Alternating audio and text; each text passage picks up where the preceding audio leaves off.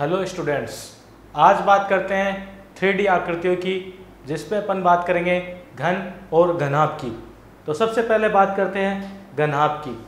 तो घनाभ कैसा होता है? घनाभ होता है एक आयताकार स्वरूप जो हवा में भी स्थान घेरता है। ये हो गया घनाभ। इसका सबसे अच्छा एग्ज़ाम्पल अपन ले सकते हैं माचिस की डिब्बी और अपना रूम अपने रूम में देखो, अपने रूम में बैठे हो तो कितने कोने होते हैं? चार तो ऊपर वाले कोने और चार ही नीचे वाले कोने। अपन ने इनको नाम दे दिया A B C D E F G H ये हो गए आठ कोने। अगर कोनों की बात करें तो कोने कितने हो गए आठ। अगर बात करें किनारों की तो किनारे कितने होते हैं? किनारों की बात करें तो किनारे कितने हो गए? देखो, एक ये वाला किनारा, एक ये वाला किनारा। दो, तीन, चार। इसके सेम पीछे भी होंगे। चार चार, आठ। नौ, दस, ग्यारह, बारह। तो किनारे कितने हो गए किनारे हो गए बारह। अगर बात करें फलक की तो फलक कितने होते हैं? फलक मतलब आयतीय स्वरूप। देखो, फलक कितने हो गए एक तो ये ए बी सी डी और एक इसके पीछे होगा। दो और एक इस साइड वाला। तीन और एक इधर वाला। एक ये वाला, एक ये वाला। चार और एक ऊपर और एक नीचे। कितने हो गए छः जैसे अपने एक रूम में देखते हैं तो एक होता है चारों दीवारें, चार और एक छत और एक फर्श। तो कितने हो गए?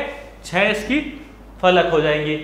अब बात करते हैं इसकी, देखो, ये वाली को अपन क्या कहेंगे? जैसे लंबाई बोल देते हैं इसको। ठीक है, ये इसकी चौड़ाई हो गई। ये वाली भुजा इसकी चौड़ाई होगी तथा इस वाली भुजा को सी बी को ऊंचाई बोलते हैं। तो इसका आयतन क्या होगा?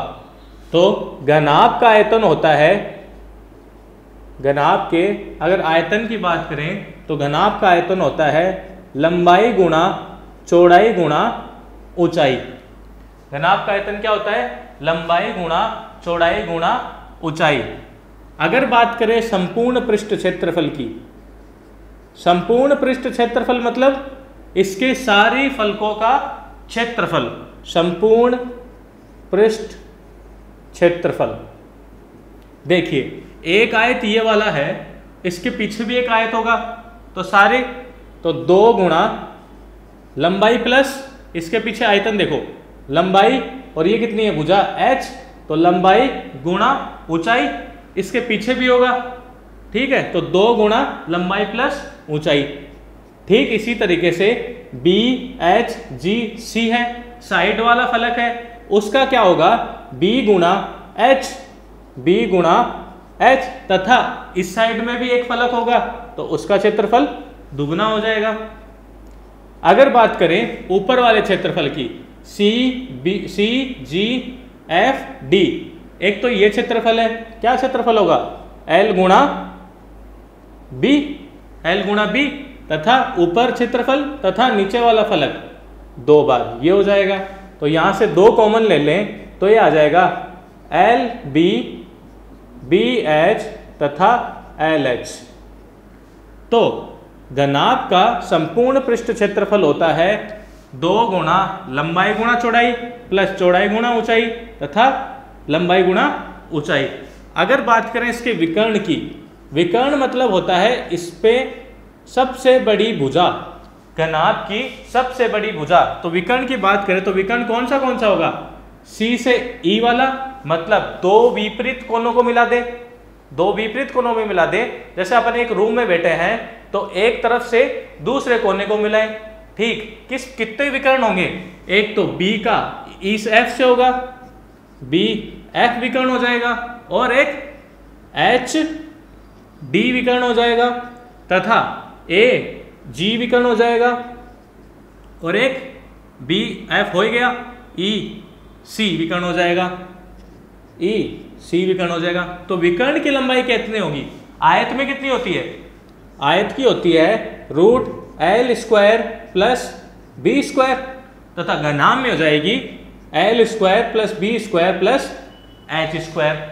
यह होता है घनाभ का आयतन, एल गुणा बी गुणा एच ये होता है संपूर्ण पृष्ठीय क्षेत्रफल, दो गुणा लंबाई गुणा चौड़ाई प्लस ऊंचाई गुणा चौड़ाई प्लस लंबाई गुणा ऊंचाई। तथा विकर्ण होता है, जो कि सबसे बड़ी भुजा होती है, root of L square plus B square plus H square. अब बात करें अपन घन की। ठीक है, घन में भी सेम यही पैरामीटर लेते हुए चलते हैं। देखो, घन में क्या होता है? घन कैसा होता है? घन में सभी भुजाएँ बराबर होती है। अगर ये बात करें, घन है तो इसमें क्या होता है? सभी भुजाएँ बराबर होती है। सभी भुजाओं का मतलब लंबाई बराबर होती है, चौड़ाई बराबर होती है और ऊंचाई बराबर होती है किसके? मान लिया ए के। जैसे लंबाई बराबर हो गई बी के, बराबर ऊंचाई, इसको मान लिया ए जो इसकी क्या है? भुजा है। ठीक है? इसको मान लिया भुजा ए ठीक है? इसमें भी वही आठ कोने होंगे। आठ कोने हैं, एक, दो, तीन, चार।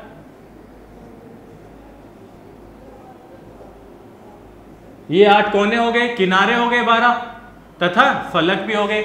मतलब लंबाई बराबर, चौड़ाई बराबर, ऊंचाई बराबर, भुजा एक। ठीक है, उसी प्रकार से हम इसका आयतन निकाल देंगे।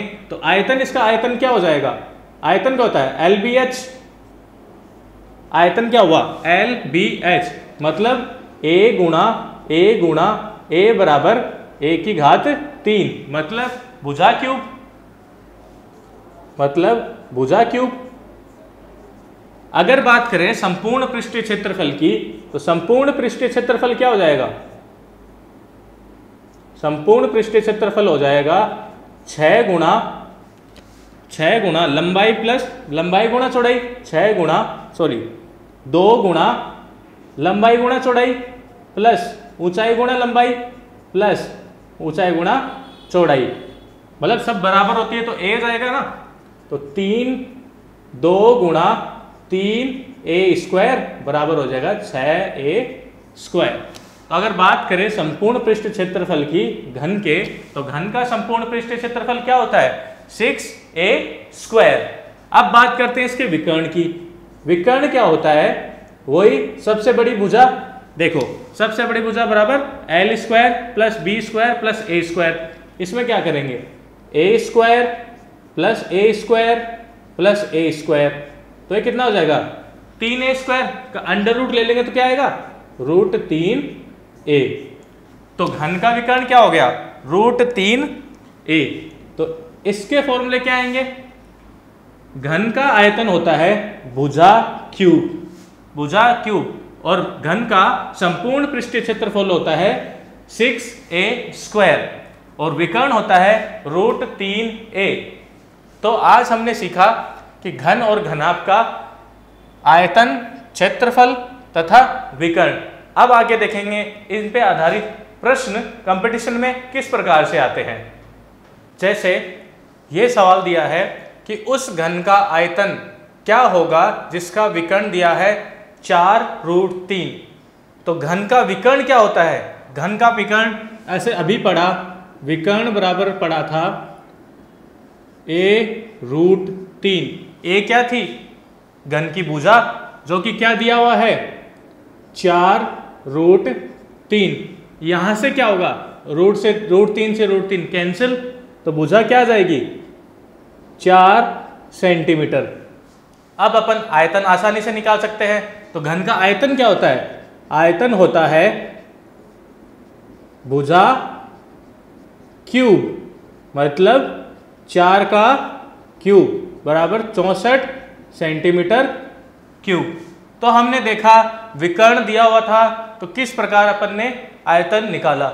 अब दूसरा प्रश्न लेते हैं। देखे एक कमरे की लंबाई, चौड़ाई तथा ऊंचाई क्रम से पाँच, चार और तीन मीटर दे रखी है तो इसमें सबसे बड़ी बाँस की छड़ी की लंबाई ज्ञात कीजिए। तो देखो, लंबाई दे रखी है, चौड़ाई दे रखी है, ऊंचाई दे रखी है तो ये तीन चीज़ किस चित्र में दे रखी होती है?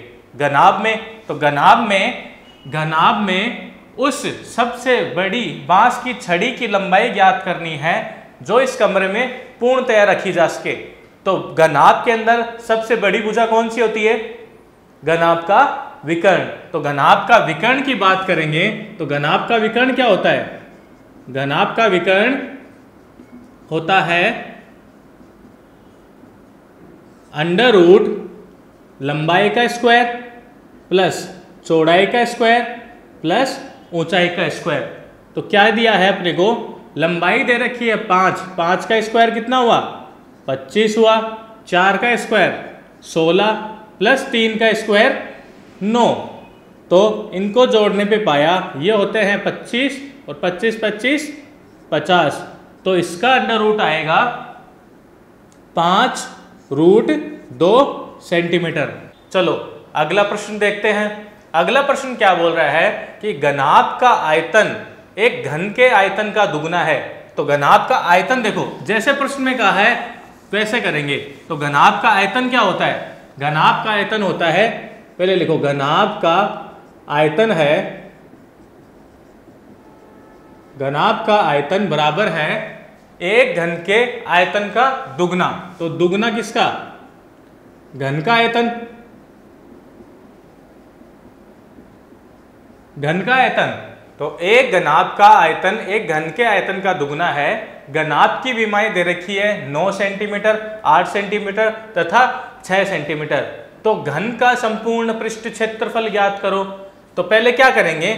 घन का आयतन ज्ञात करेंगे, जिससे क्या पता लगेगा कि घन की भुजा आ जाएगी। चलो, किस प्रकार करते हैं? तो वो घनाभ की विमाएँ दे रखी है। घनाभ की विमाएँ दे रखी है लंबाई बराबर नौ, चौड़ाई बराबर आठ और ऊंचाई बराबर छ तो इससे अपन क्या कर सकते हैं? घनाभ की, घनाभ का आयतन निकाल सकते हैं। तो घनाभ का आयतन क्या होता है? घनाभ का आयतन होता है लंबाई गुणा चौड़ाई गुणा ऊंचाई। तो लंबाई कितनी? नौ। चौड़ाई कितनी? आठ। और ऊंचाई कितनी? छ किसके बराबर है? दो गुणा घन का आयतन। घन का आयतन, देखो दो से काटा इसको तीन बार। तो नौ ती सत्ताईस और ये गुणा आठ। बराबर हो गया। घन का आयतन क्या होता है? भुजा क्यूब। ये हो गई भुजा क्यूब। यहाँ से अपन भुजा निकाल सकते हैं। देखो, भुजा बराबर आया सत्ताईस गुणा आठ की पावर एक बटा तीन। मतलब घनमूल। तो सत्ताईस का घनमूल कितना होता है? तीन। और आठ का घनमूल कितना होता है? दो तो मतलब भुजा कितनी आई?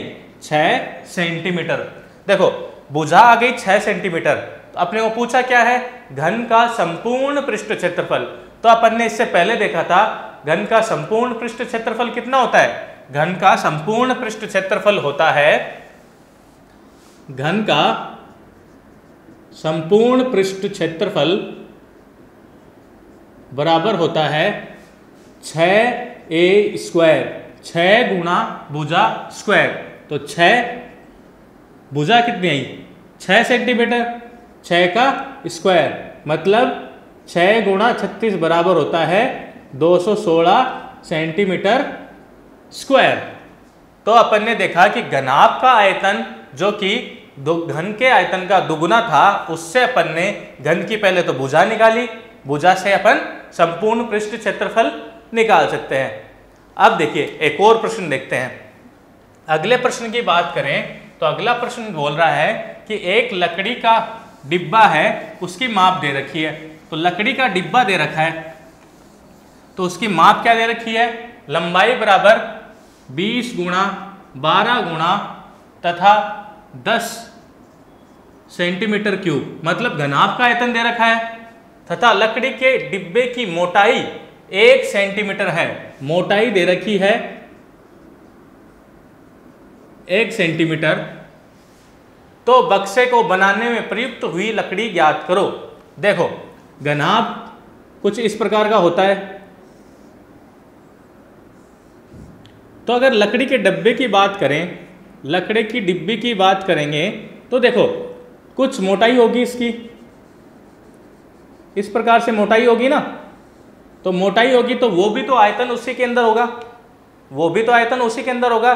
जैसे ये बाहरी हो गया, ये बाहरी आयतन हो गया, लेकिन अगर इसके अंदर की बात करें तो एक मीटर मोटाई के बाद अंदर वाला पार्ट स्टार्ट हो रहा है। तो क्या होगा? एक लंबाई में और नीचे वाली लंबाई में एक। मतलब एक यहाँ ज़्यादा है, एक यहाँ ज़्यादा है। इसका मतलब इसको कम कर दें। तो कम करेंगे तो लंबाई कितनी हो जाएगी? लंबाई में से क्या करेंगे? एक यहाँ पे मोटाई ज़्यादा है और एक यहाँ पे मोटाई ज़्यादा है। तो इसमें से दो कम कर देंगे तो कितना आएगा? अठारह। अब बात करते हैं चौड़ाई की। चौड़ाई में क्या होगा? चौड़ाई में भी सेम इधर से मोटा है और इधर से भी मोटा है। तो क्या आ जाएगा ये? 12 माइनस दो बराबर 10 अगर बात करें ऊंचाई की, ऊंचाई में भी दो कम होगा। क्यों कम होगा? क्योंकि इसमें भी तो दो मीटर मोटाई है। दो मीटर मोटाई है ना इसमें भी? और इधर भी दो मीटर मोटाई है। तो मतलब दोनों तरफ़ से एक एक मीटर, एक एक मोटाई है तो दो कम हो जाएगी फिर से इसमें। दो, आठ माइनस दो बराबर आठ। अब निकालना है कि इसमें प्रयुक्त हुई लकड़ी तो देखो ये मोटाई वाला पार्ट क्या है? जो कि मोटाई जो वाला पार्ट है, वही तो लकड़ी है इसकी। ठीक है? तो क्या करेंगे? इस प्रकार के प्रश्नों को हल करते समय बाहरी आयतन माइनस आंतरिक आयतन। जैसे प्रश्न पढ़ा था अपन ने, चारों रास्ते वाला तो क्या किया था? बाहर का क्षेत्रफल माइनस अंदर का क्षेत्रफल किया था तो अपने पास ये वाला मान आया था। ठीक उसी प्रकार बाहर का आयतन माइनस अंदर का आयतन तो बाहर का आयतन कितना है? बाहर का आयतन माइनस अंदर का आयतन। तो बाहर का आयतन कितना था? बाहर की विमाई कितनी थी? ये थी तो 20 गुणा 10 गुणा 12 गुणा 10 माइनस होगा, नई विमाई क्या आई? एक तो 8 आई 18 आई, एक 10 आई और एक 8 आई। तो आठ गुणा 10 गुणा आठ। ये कितना आएगा? 12 दूनी 24 तो 2400 सेंटीमीटर क्यूब। बाहर का आयतन कितना है? चौबीस सौ सेंटीमीटर क्यूब। माइनस अठारह आठे एक सौ चौवालीस। एक सौ चौवालीस, ये ज़ीरो। तो इन दोनों को माइनस करने पे हम पाएँगे कि इसका उत्तर 960 सेंटीमीटर क्यूब है। तो लकड़ी का जो क्षेत्रफल हुआ, जो कि इसकी मोटाई में था तो उसका क्षेत्र, उसका आयतन होगा 960 सेंटीमीटर क्यूब। अब अगला प्रश्न देखते हैं। किसी घनाभ के सम्मुख पृष्ठ का क्षेत्रफल एक्स, वाई, जेड है तो इसका आय तथा इसका आयतन v है तो v, x, y, z के बीच में क्या संबंध स्थापित होगा? देखो, सवाल क्या है कि घनाभ के सम्मुख पृष्ठों का क्षेत्रफल दे रखा है। तो ये घनाभ है, इसके आमने सामने पृष्ठों का क्षेत्रफल पहले से दिया हुआ है। देखो आमने सामने का मतलब यदि इस आयत की बात करें तो इसके सम्मुख पृष्ठ कौन सा है? इसके पीछे वाला? देखो, ये वाला। तो इन दोनों का क्षेत्रफल का मान दे रखा है x तो x बराबर क्या लिखेंगे? लंबाई गुना चौड़ाई। ठीक उसी प्रकार इसके सामने वाला दे रखा है, इसके सामने वाला दे रखा है y y लिखेंगे क्या? लंबाई गुणा ऊंचाई। ठीक है? और ठीक उसी प्रकार से z बराबर, जो कि ऊपर का पृष्ठ है और नीचे का पृष्ठ है, उसका दे रखा है z z बराबर चौड़ाई गुणा ऊंचाई, ठीक है? और आयतन अपने को पता ही है, आयतन बराबर। इसमें बोल रहा है ना आयतन, इसका आयतन v है। V क्या होता है? लंबाई गुणा चौड़ाई गुणा ऊंचाई। ठीक है? अब क्या करेंगे? जैसे कि अपन इन तीनों को गुणा करें, गुणा करेंगे तो क्या पाएँगे? X, y, z बराबर, देखो, l दो बार है मतलब l स्क्वायर गुणा b दो बार है, b स्क्वायर और h दो बार है। H स्क्वायर इसका मतलब क्या हुआ कि x, y, z बराबर क्या होगा? देखो, l, b, h l गुणा बी गुणा एच को स्क्वायर कर दिया। इस प्रकार कर सकता हूँ। देखो, ये क्या स्थिति बन रही है? ये तो ये वाली स्थिति है। मतलब x, y, z बराबर मैं v स्क्वायर लिख सकता हूँ। तो v बराबर क्या आ जाएगा? एक तो ये संबंध स्थापित हो गया। ये संबंध स्थापित हो गया ना? तो v बराबर क्या जाएगा? तो v बराबर आ जाएगा under root X Y Z तो इन दोनों के बीच में संबंध क्या आया? एक्स वाई जेड बराबर वी स्क्वायर किसी घनाभ के तीन क्रमागत, किसी घनाभ के तीन क्रमागत पृष्ठों का क्षेत्रफल अलग अलग 12 सेंटीमीटर है। देखो अलग अलग बात कर रहा है मतलब तीनों पृष्ठों का क्षेत्रफल अलग अलग 12 सेंटीमीटर स्क्वायर है। मतलब इस पृष्ठ का क्षेत्रफल भी 12 है, इस पृष्ठ का क्षेत्रफल भी 12 है। आमने सामने की बात हो रही है, और ऊपर वाले के आमने सामने का पृष्ठ का क्षेत्रफल भी क्या है? 12 है। मतलब तीनों का क्षेत्रफल 12 है।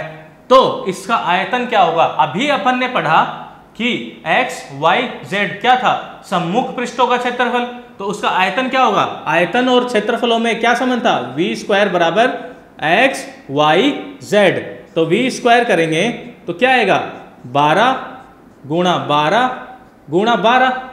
देखो इसका अगर रूट ले रूट लेने पे क्या आएगा? 12 गुणा बारह गुणा बारह। देखो इन दोनों से 12 बाहर आ जाएगा।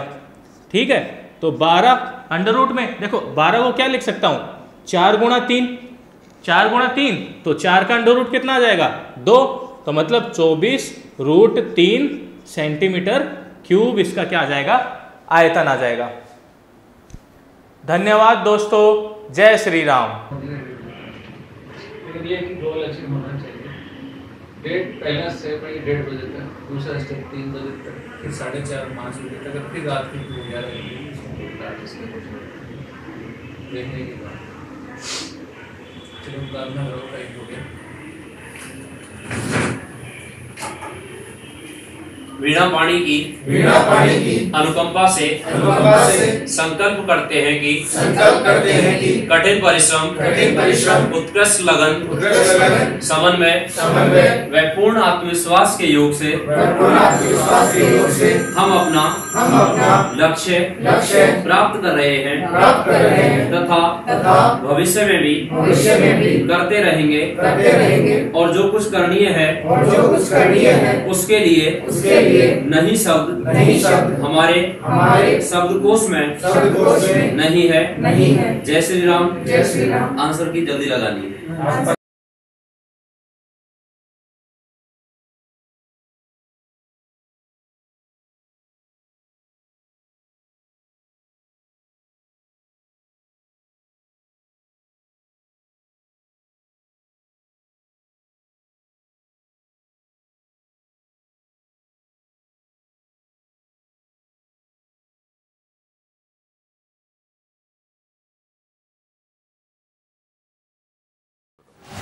आज का ये बहुत बड़ी सफलता का दिन R S proper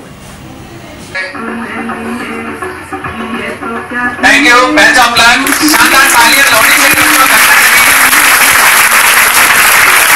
फिर पकड़ा उस पानी में डाल। ज़बरदस्त। उसका सांस घुटने लगा वो ऊपर उठना चाह रहा था गुरु ने वो ज़ोर से दबा दिया। उसने पूरा ज़ोर लगा दिया। और जब एक दो मिनट तक उसको दबाए रखा और बिल्कुल जब लगा कि अब भी दबाए रखा तो ये मर जाएगा, तब उसको छोड़ा। वो जब बाहर वापस आया तो उसने कहा, गुरु जी, ये आपने क्या किया? मैं तो क्या था और आप तो उल्टा मेरे को मारने चले। तो गुरु ने कहा कि बिल्कुल लास्ट में आपको कैसा महसूस हो रहा था? जब कि एक एक सांस के लिए मेरा ये हो रहा था कि पूरी जान लगा दो, किसी तरह से बाहर निकल जाए तो उसने कहा कि वो जो फीलिंग आपको उस वक्त हो रही थी, वो फीलिंग अगर आप अपने किसी भी चीज़ को जो आप अचीव करना चाहते हो, वो फीलिंग वो अफर्ट वो आप उसमें लगाओगे, वो शिद्दत है। और वो शिद्दत अगर आप पैदा कर लेते हो अपने लक्ष्य के प्रति। तो मैं नहीं समझता कि लक्ष्य आपसे, आप क्यों नहीं लक्ष्य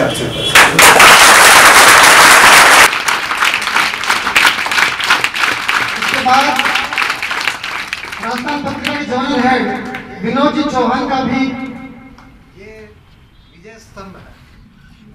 ये आप सबके भी आप पे मैं ले रहा हूँ, आपकी विजय के लिए।